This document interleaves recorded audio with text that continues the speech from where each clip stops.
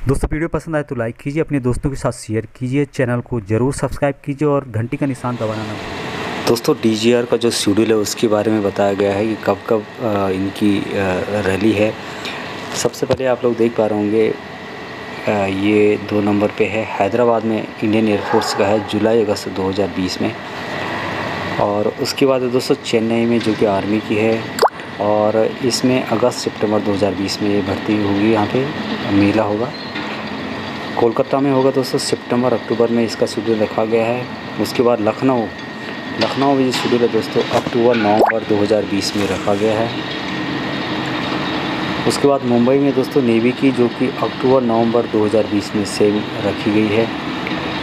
उसके बाद चंडीगढ़ में है दोस्तों, इंडियन एयरफोर्स का जॉब फेयर जनवरी, फरवरी 2021 का शेड्यूल रखा गया है। उसके बाद बेंगलुरु में रखा गया है आर्मी का, जनवरी, फरवरी इक्कीस का शेड्यूल रखा गया है। तो ये जो शेड्यूल था दोस्तों। ये था डी जॉब फेयर शेड्यूल 2020-21 का, जिसमें कि अपकमिंग जो भी शेड्यूल्स हैं उनके बारे में मैंने आप लोगों को बता दिया है। और इससे संबंधित जो भी अपडेट आते हैं मैं अपने चैनल पर डालता रहूँगा। आज के लिए दोस्तों इतना ही। जय हिंद, जय भारत।